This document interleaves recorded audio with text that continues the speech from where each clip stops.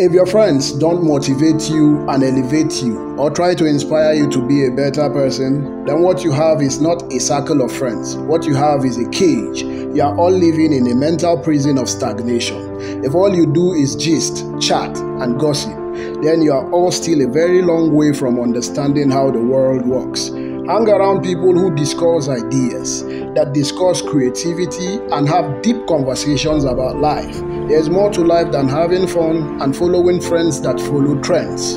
There is a clear distinction between living life and just existing as another statistics in the world. Nothing brings fulfillment in life until you have found something to live for or die for.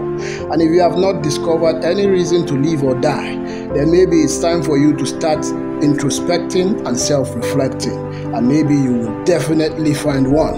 The world is for the living, that is why you're still breathing. So make it worth it, make it work.